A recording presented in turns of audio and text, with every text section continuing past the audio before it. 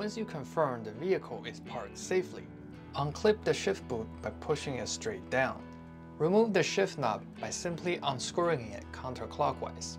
To install the Ranger series shift knob, we need to first remove the Velcro patch.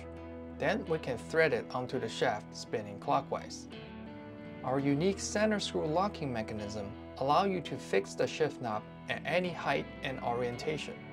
Once you're satisfied with the orientation, tighten the center screw with supplied 4mm Allen key.